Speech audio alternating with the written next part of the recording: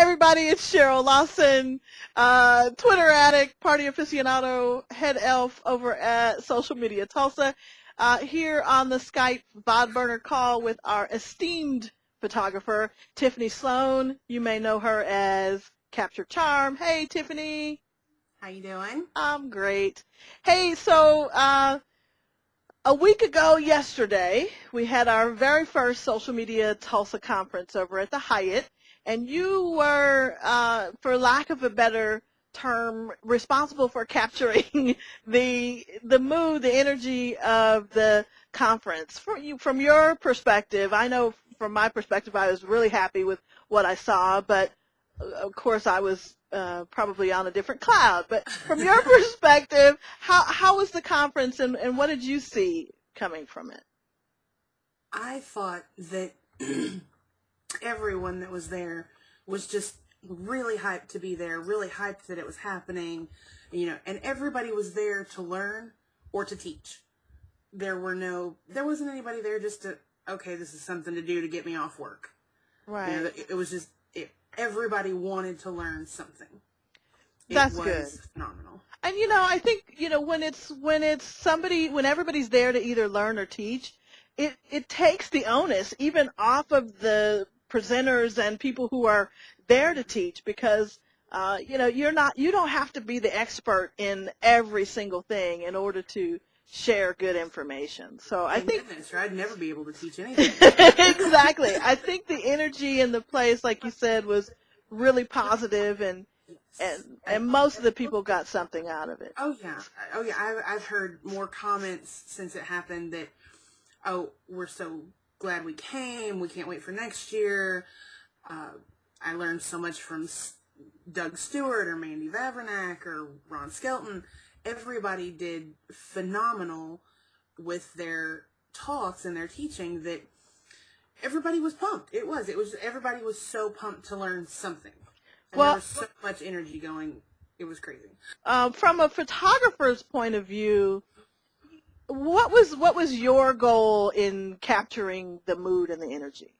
Well, I when I went in originally, I wanted to take pictures of just the speakers, just what was going on at lunch. But then, you know, you get there and you realize that there's so many people there and they're all smiling and happy and they're happy to be there. So I'm when you're a photographer, you want to capture the smiling faces and everybody was smiling. So I actually ended up taking around 600 pictures that day. Wow. Well, it's just that was a lot to go through. well, it's I think that when you're doing an event, what you really have to remember as a photographer is all the details matter. Every person that's there wants to look at the photo album and say, "Oh my gosh, that's me. Look, I was right there."